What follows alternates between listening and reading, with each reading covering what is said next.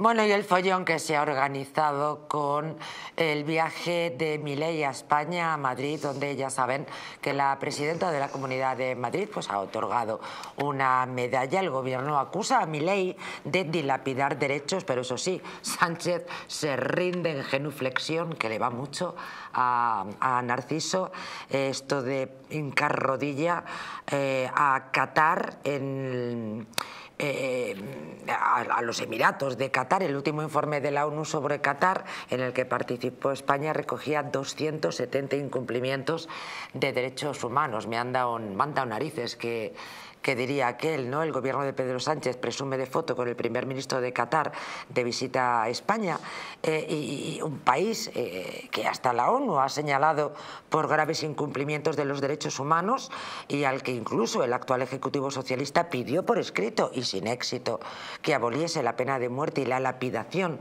como castigo a las mujeres, mientras Moncloa critica la llegada a Madrid del presidente de Argentina, Javier Milei, que ha sido hoy condecorado por la presidenta, presidenta de la Comunidad de Madrid, Isabel Díaz Ayuso, según bueno, pues ha señalado la vicepresidenta Yolanda eh, Díaz, sí, Sí, la que se fundía en un abrazo pasional con Borges Semper, que estaban ahí los dos en rollo pasón turca.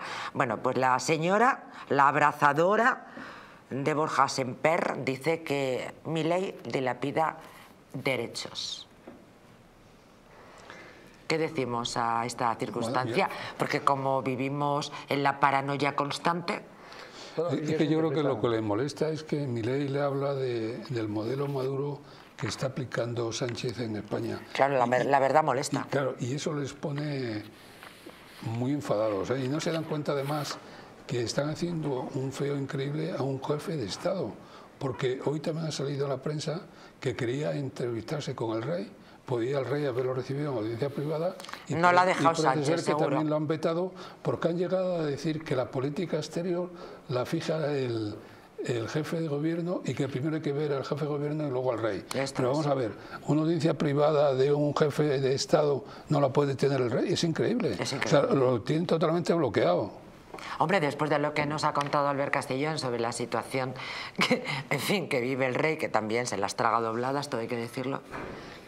Yo, creo que es que eh, es la política o la ideologización de absolutamente todo. Entonces, Pedro Sánchez no tiene ningún tipo de vergüenza, no busca el bien común de los españoles, no piensa en las consecuencias que tienen sus actos hacia el resto de españoles.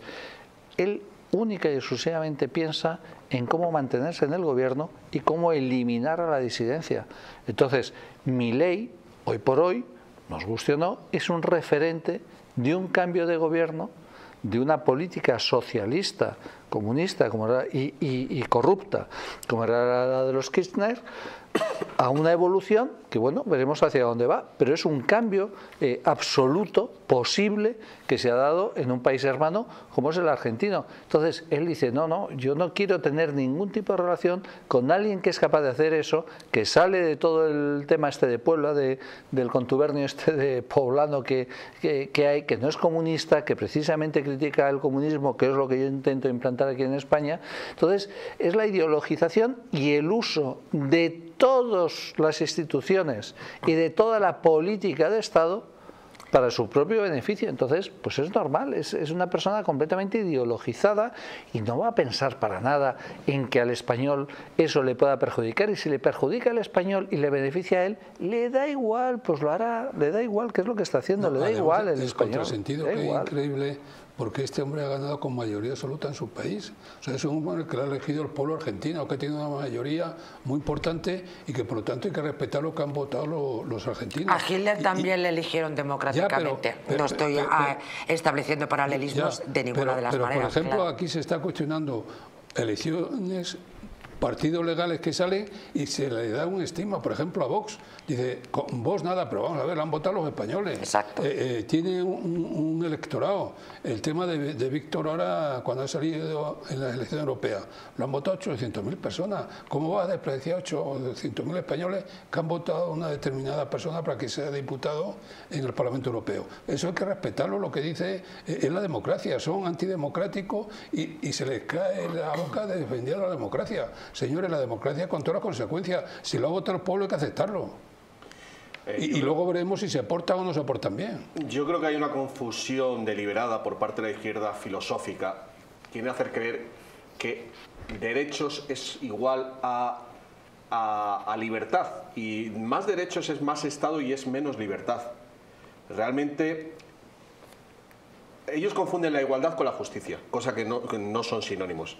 Y al estar hablando de prometerle a la gente más y más derechos, eso es a costa de hacer un Estado cada vez más grande y reprimiendo la libertad individual. Y ahí es donde entra mi ley. Mi ley lo que dice es a más libertad, más justicia. Más justicia porque una persona se gana lo, eh, lo que va a recibir en este mundo y no la manera en la que conciben la economía y por ende la justicia a la izquierda, que es más intromisión del Estado, menos papel del ser humano.